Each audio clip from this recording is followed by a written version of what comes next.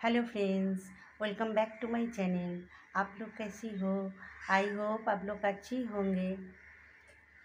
तो मैं पिछले वीडियो में बोली थी जो मेरा मन तबीयत ठीक नहीं है घर में कुछ प्रॉब्लम चल रही है। तो फ्रेंड्स देखो, जीवन में ये तो होती रहती है। रुक जाना नहीं चाहिए, आगे बढ़ना चाहिए।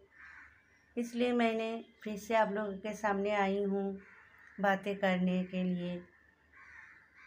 मैं घर में अकेली रही हूँ अभी, क्योंकि मेरा हस्बैंड बाहर गया है काम पे गया है और मेरा लड़का लड़की भी काम पे गया है।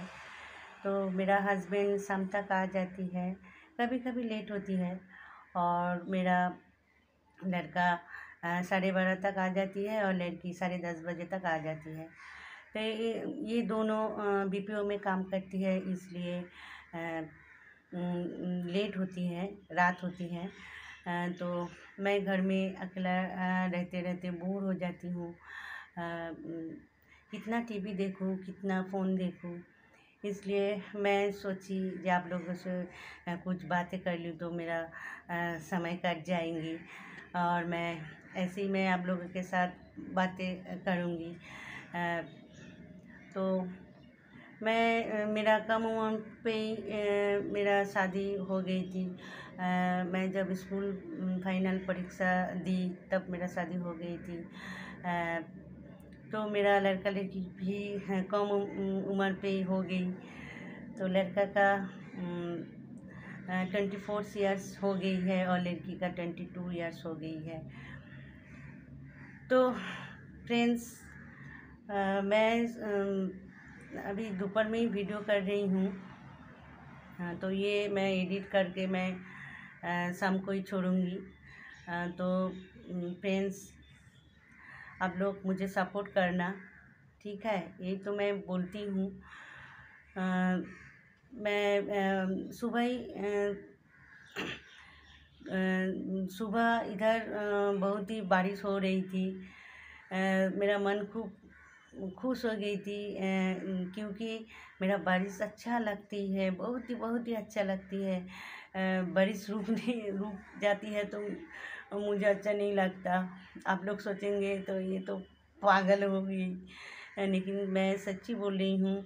मेरा लड़की मुझको बोली जे, मम्मी, तुमको चेरापूंजी में जाके रहना चाहिए, क्योंकि चेरापूंजी में हर बरस बारिश रुकता नहीं है, हो जाती है। तो जो हो तो मैं अभी फ्लैट में ही रहती हूँ तो पहले मैं जिधर रहती थी बाड़ी में रहती थी तो उस बाड़ी में इधर उधर आसपास के सब लोग के साथ मैं मिलजुल कर बातें करती थी घूमने जाती थी। तो मेरा हस्बैंड का ट्रांसफ़र हो गया, इसलिए मैं इधर चली आई तो मैं फ्लैट में रहती हूँ तो घर में मैं अकेला रह रह के बोर हो जाती हूँ अच्छा नहीं लगता। फ्लैट कल्चर तो आप लोगों को मालूम है, कोई किसी का, किसी के मतलब नहीं रखती है। तो क्या करा जाए? तो चलना तो चाहिए तो तो मेरा जो अच्छी अच्छी फ्रेंड्स हो, जो न्यू फ्रेंड्स हो तो प्लीज़ फ्रेंड्स मुझे ऐसे ही सपोर्ट करते रहना, ऐसे ही कमेंट करते रहना। तो चलो बाय बाय